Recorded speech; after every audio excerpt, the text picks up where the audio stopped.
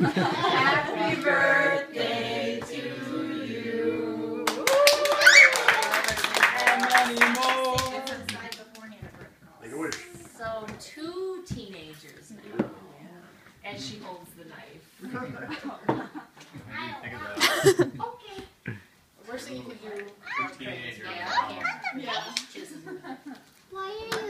Why did you just do one candle this morning? Muffin, and there was only room for one candle. Yeah, morning No, we muffins thought too close to the knife.